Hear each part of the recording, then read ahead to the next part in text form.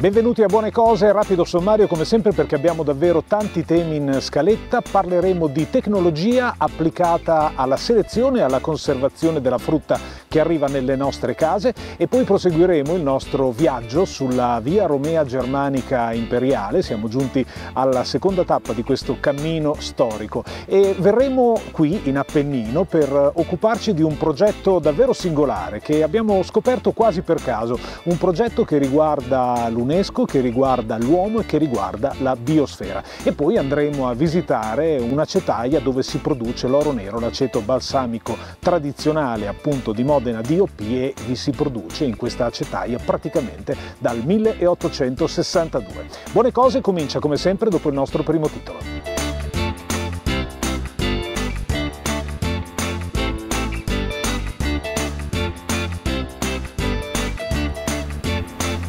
Benvenuti dunque a Buone Cose, ripartiamo questa settimana da dove ci eravamo lasciati alla fine della scorsa puntata perché insieme a Federico Cavassi, direttore operativo degli stabilimenti di Agrintesa, vogliamo approfondire alcuni temi che riguardano la frutta e la verdura che arrivano nelle nostre case, dai campi, eh, passando attraverso questa cooperativa di 4.000 agricoltori e produttori di vino, una cooperativa ben radicata nel territorio della nostra regione dell'Emilia Romagna e con tante sedi, tanti stabilimenti vicini alle zone di produzione. Allora Federico, ho detto tutto giusto se non ricordo male da quello no, che avevamo che accennato? Giusto. Perfetto. Quanti stabilimenti avete allora in Emilia Romagna in particolare e tutti grandi come questo di Castel Bolognese dove ci ha portato la nostra mappa sì, importanti? Diciamo che Grintesa ha scelto di concentrare diciamo, le lavorazioni e specializzare i vari stabilimenti sui vari prodotti. Quindi abbiamo sei centri di confezionamento, eh, 5 qui in Emilia Romagna, Castel Bolognese dove siamo, eh, sì. Faenza, Gambettola, eh, Bagnacavallo, Castelfranco Emilia certo. e poi abbiamo Campagnola di Sevio a, a Verona. Certo, nel, dove nel lì viene lavorato prevalentemente il prodotto biologico? Assolutamente sì, insieme a Gambettola, certo. mentre gli altri quattro centri fanno prodotto convenzionale, ciascuno specializzato in un prodotto, in uno o più prodotti specifici. Esempio qui a Castel Bolognese siamo concentrati, diciamo specializzati sul kiwi, a Bagnacavallo lo siamo sulle mele, a Faenza lo siamo sulle pesche netterine, albicocche sì. e cachi, lotti di Romagna. Certo eh, a Castelfranco lo siamo sulle ciliegie quindi, sì. eh, e sulle pere, quindi ogni, ogni centro di ritiro, ogni centro di confezionamento ha le sue ha le sue specializzazioni le sue peculiarità. Allora, partiamo proprio da Castel Bolognese dove ci troviamo, perché è veramente curiosa e ce l'hanno sottolineato alcuni, alcuni, dei nostri ascoltatori, è veramente curiosa questa storia delle fotografie ai kiwi di cui parlavamo la volta scorsa, cioè di come la tecnologia è al servizio in questo caso della frutta e della verdura che poi arriva sui banchi di vendita e nelle nostre case. È quello che, che fa eh, Google quando eh, tramite applicazioni applicazioni varie va a leggere o a riconoscere foto di case, foto di abitazioni, non solo. Stesso riconoscimento facciale che facciamo noi con il telefonino quando avviciniamo lo schermo e il telefonino eh, si accende. Sì. Ma anche la tecnologia nuova delle automobili che leggono i segnali stradali e allora hanno il computer all'interno eh, dell'auto che ci fa rallentare se stiamo andando troppo forte oppure ci avvisa. Voi fotografate la frutta, ma cosa si capisce allora da queste foto della frutta partendo dai kiwi?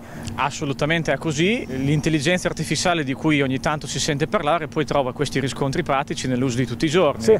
Molti di noi utilizzano, come hai tu già detto, in, eh, in diverse situazioni della, vita, della, vita, della, nostra vita quotidiana, tecnologie di intelligenza artificiale certo. che ci aiutano nella vita di tutti i giorni. Noi la utilizziamo e uh, la mettiamo al servizio dei nostri magazzini per migliorare la qualità dei nostri prodotti perché le nostre macchine in diversi magazzini come quello, questo qui di Castel Bolognese o tecnologia simile ce l'abbiamo a Castelfranco sulle ciliegie fotografiamo i frutti, le macchine fotografano i frutti e aiutano le persone nella serenità del prodotto. Certamente, Provo perché pensare... io scarto il frutto con il difetto in Ass... questo caso immediatamente, no? Assolutamente sì, qual è la garanzia? Garanzia di costanza di qualità? Certo. Le persone si stancano o dopo un po' di tempo che sono davanti a tutti questi frutti che girano non, non, ti nascondo che dopo sette ore di lavoro, eh l'ultima ora di lavoro diventa, diventa difficile. Eh, mentre... Sì, altro che stanchezza da monitor, voglio dire, qui ho la stanchezza da, da, da, kiwi che... È molto molto molto peggio, quindi uh -huh. io le ammiro molto, diciamo, le persone, le, le ragazze, le cernitrici che sono certo. nei banchi di selezione, perché non è così semplice vedere tutto il giorno, tutti, migliaia e migliaia e migliaia uh -huh. di frutti che girano, mentre la macchina questo problema ovviamente non, non ce l'ha. Non ce l'ha. E apprende perché se io segnalo alla macchina la fotografia di un frutto ammaccato, la macchina si ricorda Assolutamente sì. che quella, ma quella macchia che c'è sulla, sulla, sua fotografia è... Più frutti ammaccati faccio vedere alla macchina, più lei rafforza questo, questa memoria di frutto ammaccato e sarà sempre più affidabile nel, nel, nell'individuare questa ammaccatura. Certo. Perché l'ha vista più e più volte, si è creata una sua esperienza e una sua memoria molto molto simile a quella che, che, è un cervello umano. Sì, sì. Eh, allora già abbiamo detto eh, la volta scorsa, ma è giusto sottolinearlo ancora, che comunque non è che accantoniamo appunto le persone perché l'ultima selezione, quella della frutta che entra nella mia vaschetta eh, o eh, nella mia reticella e che poi mi porto a casa, l'ultima selezione è fatta a mano e a vista da sì, una persona e questo è fondamentale. Diciamo che nelle selezioni di quei, di quei, difetti dove le soglie sono ancora di indecisione, sì. Eh, l'uomo è ancora più bravo della macchina quindi le nostre donne sono ancora più brave della macchina, però servono comunque piloti in gamba per guidare queste macchine con queste tecnologie. È vero, anche perché mi viene in mente che eh, alcune cose forse la macchina le fa meglio rispetto ad altre. Vado allo stabilimento di Bagnacavallo dove vengono lavorate le mele. A me una cosa che ha colpito quando siamo andati a visitare questo vostro stabilimento produttivo era non tanto la calibratura, cioè i frutti della stessa dimensione vanno insieme, le mele più grandi, le mele più piccole, ma la selezione anche per colore. Cioè le mele sono verdi, gialle, rosse, benissimo, allora io divido il verde, il giallo e il rosso. No, lì mi divide il rosso acceso, il rosso leggermente più scuro, quante sì. gradazioni fa? Che pensare a una persona che le fa a occhio è quasi impossibile. Eh, dunque, eh, diciamo i colori che, che, che hai menzionato sono sì. le, le macro famiglie di mele, Certamente. quindi uno compra una mela verde oppure compra una mela rossa oppure compra una mela gialla la mela rossa in sé, deve, per essere considerata rossa, deve avere una certa percentuale di rosso. Certo. La macchina è facilitata in questo perché nel, nel, nel misurare quanta superficie rossa c'è, quindi quanta percentuale di colore c'è, la rotazione dei frutti al di sotto, de, sotto le telecamere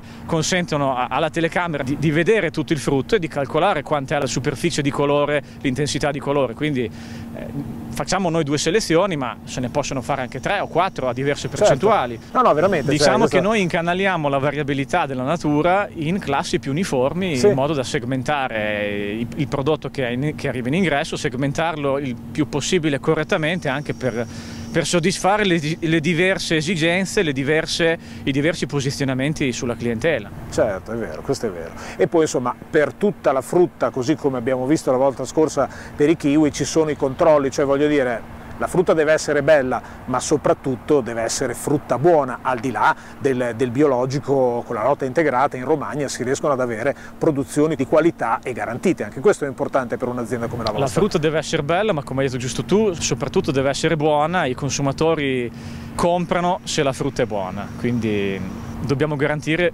prodotto buono, oltre che bello. Certo. Federico, è bello fare il suo lavoro Com'è che uno se, da grande voleva fare l'astronauta, il pompiere? Faccio il direttore produttivo di un'azienda che si occupa di tanta frutta e di tanta Tanti verdura. sacrifici, soddisfazione quando, quando, i risultati arrivano, un po' come tutti i lavori. Non, diciamo che la variabilità data dalla natura mh, ci consente di non annoiarci mai. Certo, anche perché la cosa bella forse è che eh, al di là della, del prodotto, no, della frutta che arriva dal territorio qui di fianco a casa, anche la tecnologia che c'è nei vostri stabilimenti è made in Emilia Romagna di fatto. Principalmente sì, sono aziende che esportano comunque in tutta Italia e in tutto il mondo le, le, stesse tecnologie, ma abbiamo la fortuna in Italia di avere comunque aziende, aziende di valore che investono e che hanno eh, che vendono nel mondo tecnologie che ci invidiano anche certo. eh, in altri paesi, quindi è, diciamo è filiera corta, diciamo così. È vero, ma qual è la frutta più difficile da lavorare e da selezionare? Ogni frutto ha, le sue caratteristiche, pregi e difetti e probabilmente la pera in sé è un prodotto un po' più complesso diciamo, sì. da gestire per una macchina scartare o non scartare il problema forse è più, sui frutti un po' più scuri dove sono un po' bagnati, quindi uh -huh. sulle ciliegie sicuramente le macchine hanno anche il riflesso del, del, del, dell'acqua, quindi questo a volte può eh, ingannare un pochino l'occhio, quindi diciamo che la ciliegia essendo un frutto molto piccolino sì. sono richieste prestazioni comunque molto elevate alle macchine, eh, probabilmente è abbastanza complesso anche per la macchina su una ciliegia molto molto scura perché si va dal rosso al rosso molto intenso sì. a ciliegie che sono quasi nere quindi rilevare un difetto su una ciliegia molto scura eh, è complesso e in questo caso la macchina è più brava dell'uomo perché un frutto scuro bagnato sostanzialmente offusca il difetto mentre la macchina sì, ce, sì. ce, la fa. Ecco questo sì. Eh, noi ringraziamo allora Federico Cavassi per essere rimasto insieme a noi, buon Grazie lavoro, buon proseguimento, Grazie. tanta frutta, insomma per arrivare all'estate ne abbiamo no? nei nostri magazzini ne abbiamo, conservata bene. di più, ma si spera averne di più quest'altro anno. Certo, allora, insomma, progetti per il futuro, avere ancora più frutta da poter gestire, da poter selezionare, sì. far arrivare nelle nostre case. Grazie ancora Federico, eh, state lì voi perché Buone Cose è appena iniziata. Torniamo tra pochissimo, piccola pausa.